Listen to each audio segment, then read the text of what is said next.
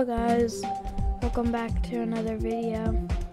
I just wanted to make this quick video and it's just a showcase of my new Geometry Dash level that I made and it's my first level so it might not be that great but it's called Relive and yeah so I'm just gonna show um, basically like a quick go through of the level.